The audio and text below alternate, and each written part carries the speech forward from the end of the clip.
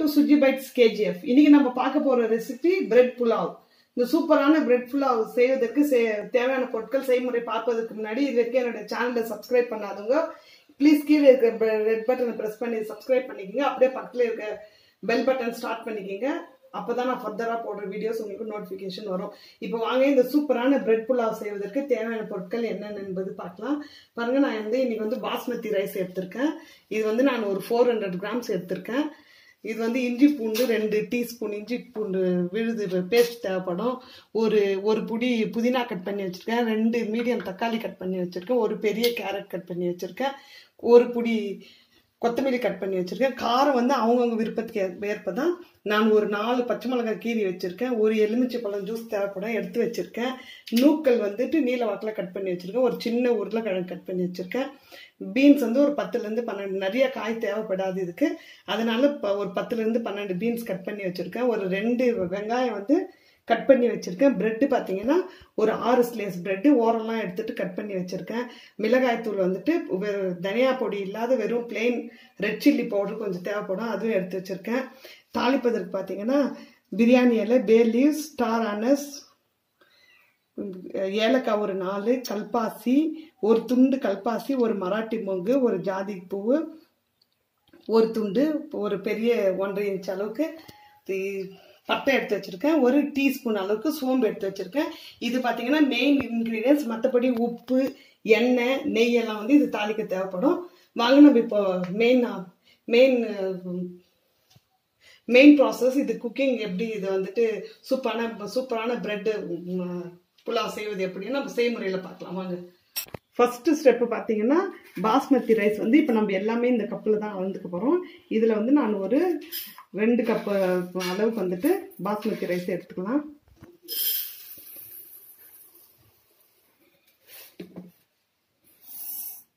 இது வந்து நம்ம நல்லா கழுவி ஒரு நம்ம இது குக்கிங் ப்ராசஸ் இது ஸ்டார்ட் பண்ணுறதுக்கு முன்னாடி நம்ம வந்துட்டு அரிசியை வந்து ஒரு ரெண்டு முறை கழுவி நம்ம இப்போ இதை வந்து ஊற வைக்க போகிறோம் தண்ணி விட்டு கழுவி நல்லா ஊற வைக்க போகிறோம் ரெண்டு டைம் கழுவிட்டேன் கொஞ்சம் தண்ணி விட்டு கொஞ்ச நேரம் இது வந்து நம்ம இந்த இதெல்லாம் வெங்காயம் வெஜிடபிள்ஸ் எல்லாம் நல்லா வதக்கிற வரைக்கும் இது வந்து நல்லா ஊறட்டும்.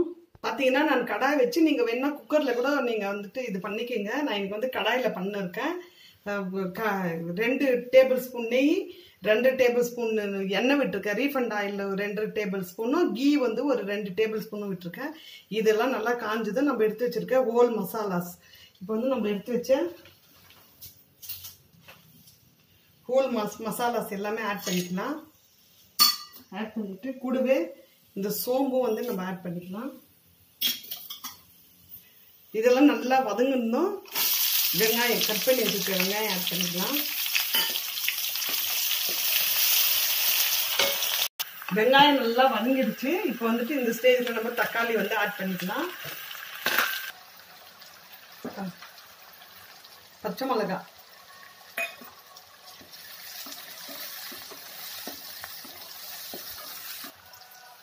இஞ்சி பூண்டு விழுந்து வந்து நான் ரெண்டு டீஸ்பூன் வந்து ஆட் பண்ணுறேன்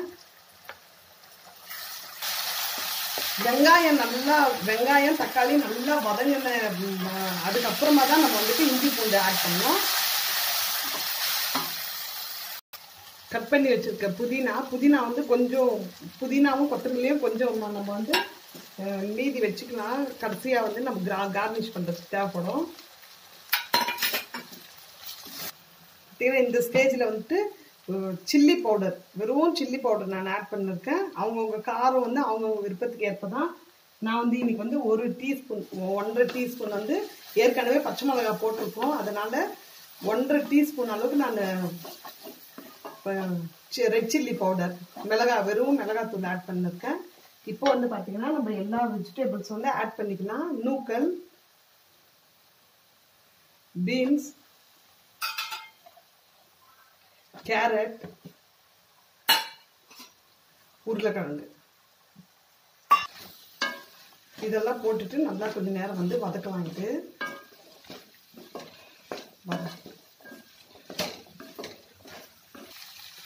உப்பு வந்து காய் வதங்குற அளவுக்கு கொஞ்சோண்டு உப்பு போட்டு நம்ம வதக்கலாம்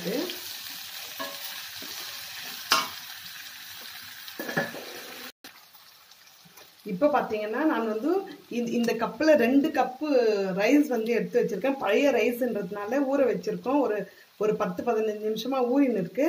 இப்போ வந்து நம்ம வந்து ஒன் இஸ் டு டூ புது அரிசியாக இருந்தால் ஒன்றுக்கு வந்து ஒன்றரை வச்சுக்கோங்க இல்லாட்டி ஒன்று வைங்க. இன்றைக்கி நான் பழைய அரிசின்றதுனால இன்றைக்கி வந்து நான் மூ மூன்றரை கப்பு மூணுலேருந்து மூன்றரை கப்பு விடலான்னு நினைக்கிறேன். பாருங்கள் தேங்காய் பால் வந்து விட்டுட்டு தேங்காய் பால் வந்து ஒரு கப்பு விட்டுருக்கேன். நிறைய தேங்காய் பால் விட்டால் இது வந்து தெகிட்ட நம்ம சாப்பிடும்போது ரொம்ப தெகிடும். ரெண்டு மூணு மூன்றரை கப்பு விட்டுருக்கேன். மஞ்சப்பொடி ஒரு கால் டீஸ்பூன் மஞ்சப்பொடி.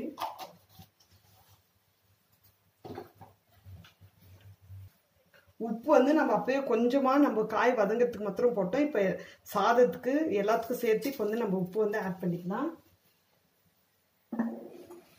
இது வந்து நம்ம லிட்டு போட்டு மூடி வைக்கலாம். ஒரு கொதி வந்ததும் நம்ம ஊற வச்சிருக்க அரிசி வந்து நம்ம இதில் ஆட் பண்ணலாம். இப்போ வந்து பார்க்கலாம் நம்ம.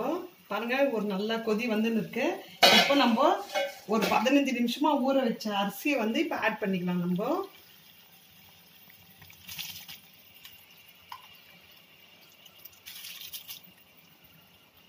இப்போ இந்த ஸ்டேஜில் வந்து உப்பு கொஞ்சம் நீங்கள் இது ஒரு எலுமிச்சை பழம் ஜூஸ் எடுத்து வச்சுருந்தா அரிசி போட்ட உடனே இந்த எலுமிச்சை பழம் ஜூஸ் விட்டுக்கலாம். எப்பவுமே அரிசி போட்ட உடனே தான் ஜூஸ் வந்து எலுமிச்சை பழம் ஜூஸ் விடணும். அப்போ தான் நம்மளுக்கு வந்து அந்த ஒன்றோட ஒன்று அரிசி ஒட்டாமல் நல்லா உதிரி உதிரியாக வரும். இப்போ வந்து இந்த ஸ்டேஜில் நீங்கள் உப்பு கொஞ்சம் செக் பண்ணிக்கோங்க. நான் போட்டிருக்கிறது எல்லாம் கரெக்டாக இருக்குது இப்போ இது வந்து மறுபடியும் இது மூடி போட்டு இது வேக விடலாம்.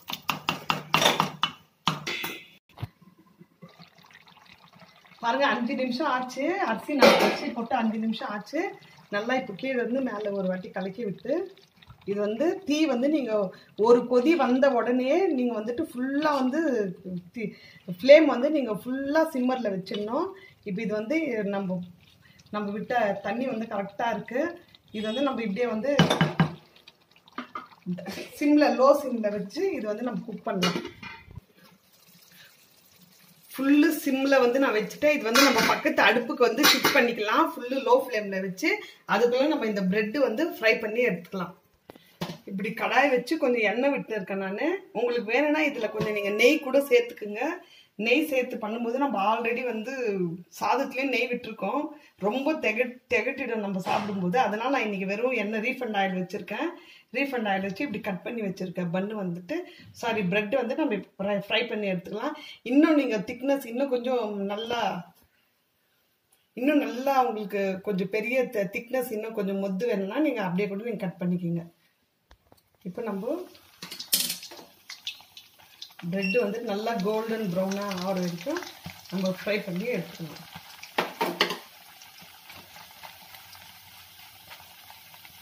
எல்லாம் ஒரே கலரில் வர மாதிரி நம்ம வந்துட்டு தீக்காம இப்போ வந்து நம்ம இது வந்துட்டு ஒரு டிஷ்யூ பேப்பரில் எடுத்துக்கலாம்.